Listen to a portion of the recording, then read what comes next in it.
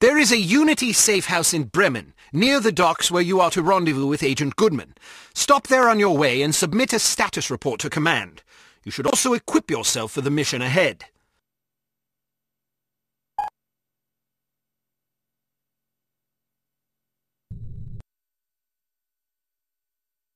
What was the name of that nightclub again? Das Einsame Valkyrie. Ah, yes, here it is. The proprietor's name is Wagner. Inge Wagner. Ring any bells? We've got a file on her.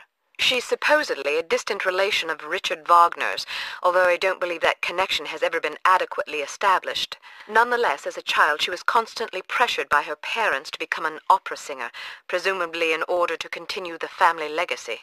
The only problem was that she was completely tone-deaf.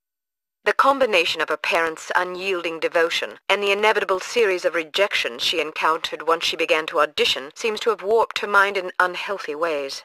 As a young woman, she had several run-ins with the West German authorities, initially involving complaints about her impromptu public concerts, but eventually blossoming into allegations of smuggling, extortion, money laundering, and even murder. It's entirely possible she's fallen in with harm. Find out what you can. Very good, sir. Be careful, Archer. I'll be fine. Welcome to Advanced Field Tactics. We've modified your cigarette lighter. It now features a built-in miniature welder. The flame should be just hot enough to cut through padlocks that can't be picked or shot off. Look for locks with dials instead of keyholes. Try welding these locks off.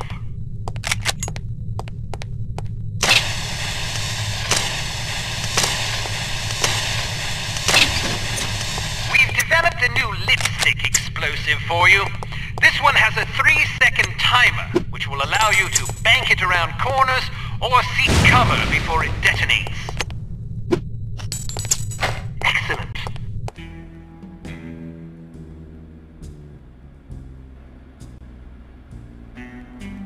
I'm so bloody bored. I never have any fun. Me neither.